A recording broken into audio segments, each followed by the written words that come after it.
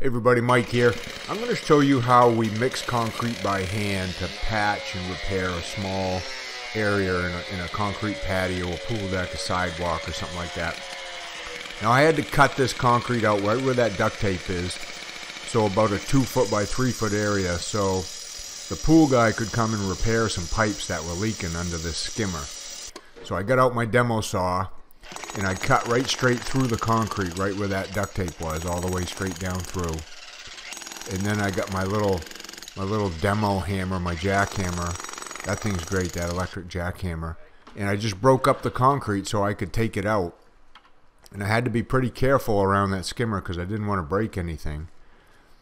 It was about four inches thick. You know, it had some wire mesh in it, so it it didn't come out like super easy it was kind of jammed in there pretty good, but just take I just took my time, cut the cut the wire as I went, took the little pieces out, put them in a bucket, and then we just we just dumped them out back.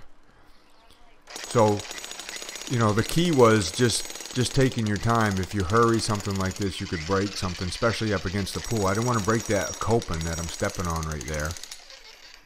And I didn't want to break any part of the skimmer where the skimmer cover slid down over the skimmer part. So it just took a few minutes for us to do this, probably about 20, 30 minutes total. And we had all the concrete out. And then we were ready to, you know, let the pool guys do their thing. They had to dig down and fix the, the piping underneath because there was a hole in it somewhere. And then we were going to come back and, and mix up some concrete by hand and patch this back in. So, so here I am. I got my form I'm putting in just to hold the concrete. Simple little 2x4 there. And now I'm drilling and pinning the, the new concrete I'm going to put into the old. Because I don't want this concrete to settle. I don't want it to lift. I don't want any type of a, of a trip edge, you know, when the kids are running around the pool deck. So I'm going to drill it and pin it together so it'll never move or separate.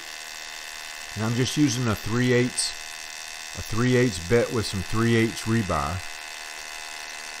I got my DeWalt battery operated hammer drill. You guys, if you know, if you watch me before, you've seen me use that before. That thing's great for drilling into concrete.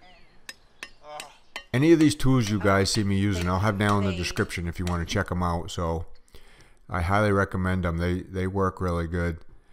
Now I'm just pounding some rebar, some dowels into those holes I drilled, some 3 8 rebar, and that's going to pin the concrete together, the new to the old. So I won't have to worry about anything moving. So I'll just get those, I'll tap those in with the hammer. You know, I tapped them in about two to three inches.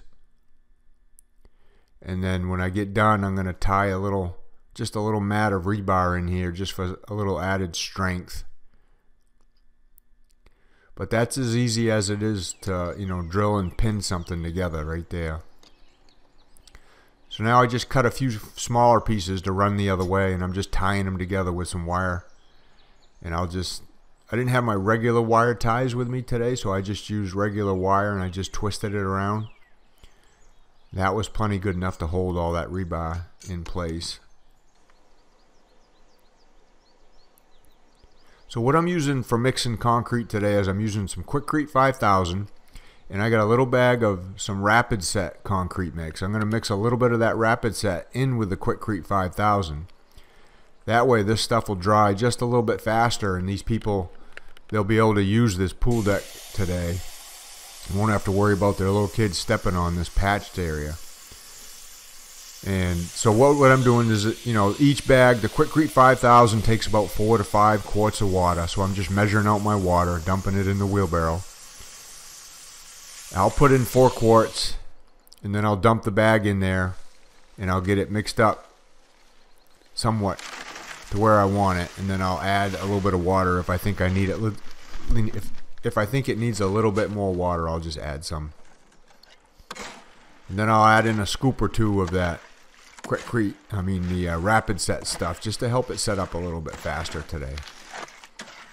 So that's that's the basic process right there. Put your water in first, dump in part of your bag mix, and get that mixed up pretty good. And then you can dump in the rest of your bag and continue mixing it And then if you think you need to add a little bit more water, if it feels like it's too stiff or too dry, just add a little bit more water to it until you get it the consistency you want.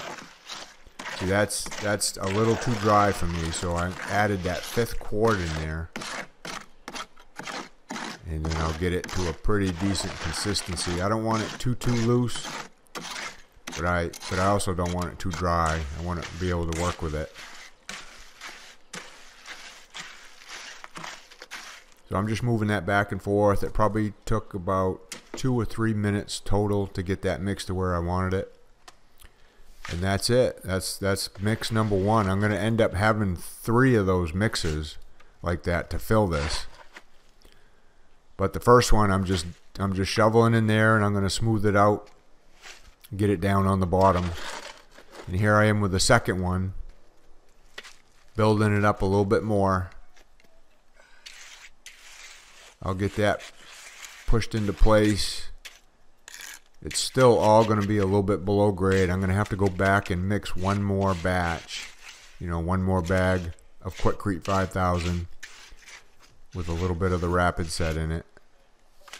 But I'm getting everything consolidated, getting it down in there really good. So here I am with the third batch. And now I'm going to have plenty. So I'll get it all shoveled in there. And then show you how I get it magged out and then put a little bit of broom finish on it and I'm gonna I'm gonna edge up against that 2x4 also to try to match the original deck.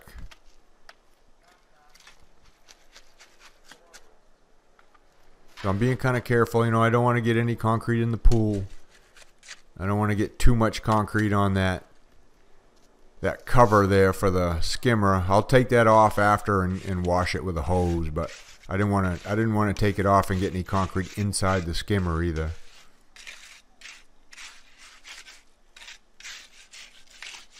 So you can see this is pretty dry mix. There was quite a slope from the pool out away towards the fence. There was probably an inch and a half to two inches slope on that that you can't really see too good on the camera. So I didn't want to I didn't want to pour this concrete too loose. I had to keep it pretty dry so it, it didn't sag at all.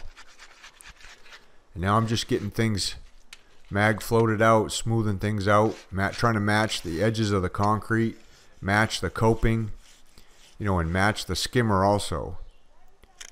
So here I am putting my edger on it. You can see it matches up with the other, the old edger there, just about exact.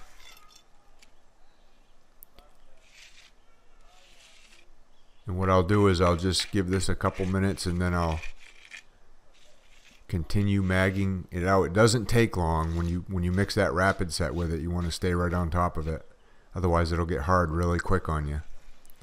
So I'll just get it mag floated out a little bit smoother and then I can apply my little light, really light broom finish to it.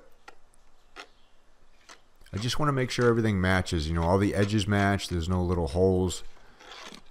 That's what I'm doing here.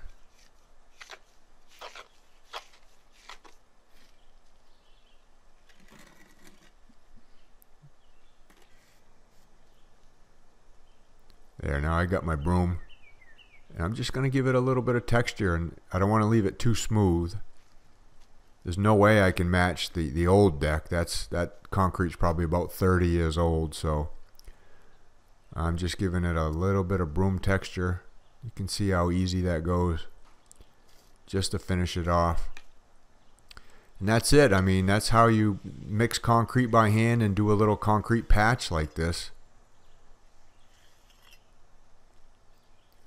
Well, let me know down in the comments, guys, if you have any, any questions. And thanks for watching, and we'll see you on the next video.